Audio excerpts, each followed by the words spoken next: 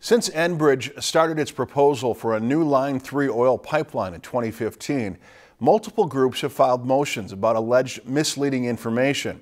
In the latest filings, some of the groups say that Enbridge may not have been honest about their plans for the decades-old pipeline. Mel Meyer has more from the Mississippi headwaters. The different groups say they are concerned about the proposed Line 3 pipeline and the environmental impacts it would have on the area. If you look down, you can kind of see the mounds. That is where the pipelines are laid. The Sierra Club has been involved in a series of motions during the Minnesota Department of Commerce project process. One member says one of the proposed options to clear a new route would pose significant problems. When you look at this, how many more trees they'd have to cut down and make a bigger swath. The climate issues are enormous. The environmental impact is terrible.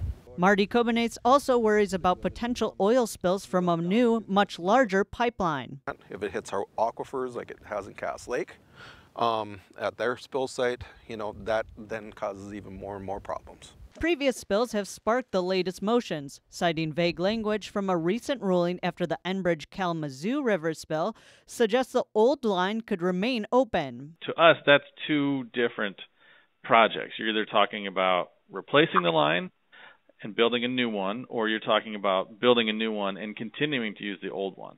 Both the Minnesota Center for Environmental Advocacy and Friends of the Headwaters say this should be taken into consideration. They want to have the public commenting period reopened, especially since other plans have also changed. Now that they've withdrawn Sandpiper, we think that they need to reopen this, not forever, but just for a period of time to allow, to allow the public to comment on these new developments. The company denies misleading the public and says that it would decommission the decades old pipeline and follow the guidelines from the Kalamazoo ruling. You know, the, the consent decree may have had some vague language in that area, but what's most important is the language that we put in our application to the Public Utility Commission that we will permanently deactivate the line, and that's exactly what we intend to do.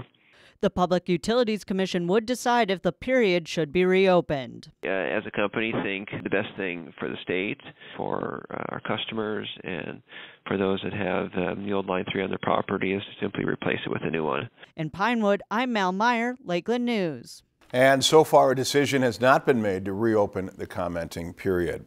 If you've enjoyed this segment of Lakeland News, please consider making a tax-deductible contribution to Lakeland Public Television.